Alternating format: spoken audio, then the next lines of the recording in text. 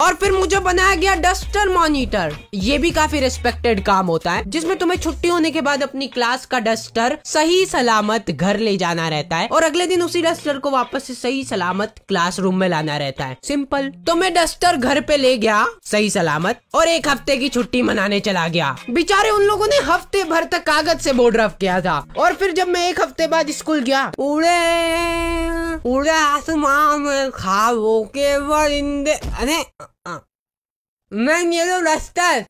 अरे वाह बेटा। थैंक यू मैम धो के इसको।